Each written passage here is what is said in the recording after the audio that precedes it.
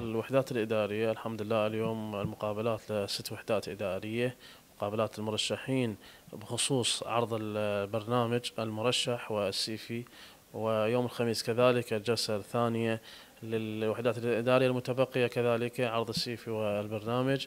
وإن شاء الله السبت أو الأحد نحدد الجلسة الاستثنائية للتصويت على كافة الوحدات الإدارية.